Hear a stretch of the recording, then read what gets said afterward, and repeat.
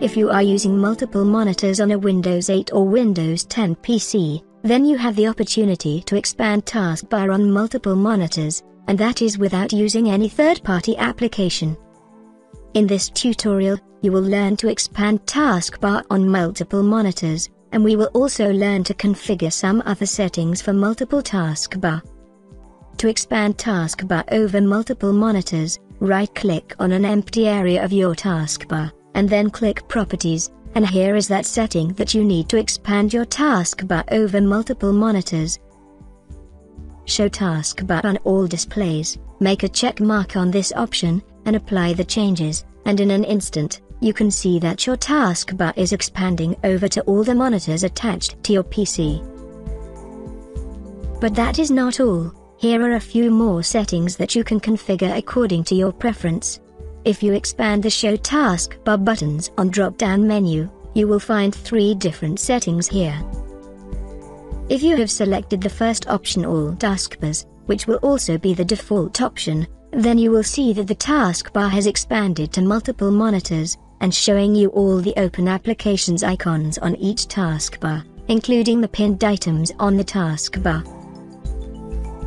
But if you don't prefer to see the pinned items on every taskbar around multiple monitors, then you can go for the second option which is, Main Taskbar and Taskbar where window is open.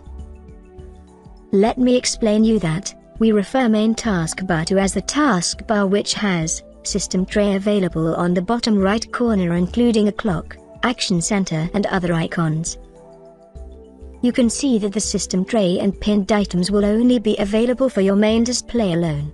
If you go with this setting, then you will only see opened application buttons on the main taskbar, and on the taskbar for the monitor from where that application has been opened. For instance, if I open an application using the Start button of my second monitor, or even if I move an application from main display to second monitor, then you will see Open App icon on the main display, and on the taskbar of that monitor where application is opened or being shifted.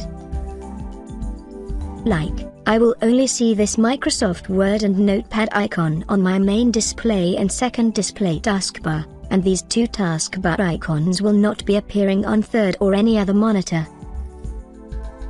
If I go with the last option, taskbar where window is open and apply the changes, you can see that both Microsoft Word and Notepad icons are only available on second monitor, and they are no longer visible on my main display.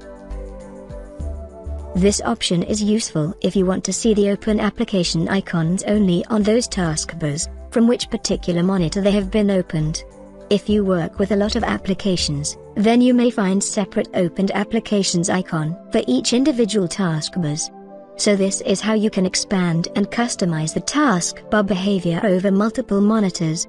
If you found this video interesting, then don't forget to hit the like button. Share this video with your friends, and subscribe to our channel for more upcoming videos. Thanks for watching, and take care.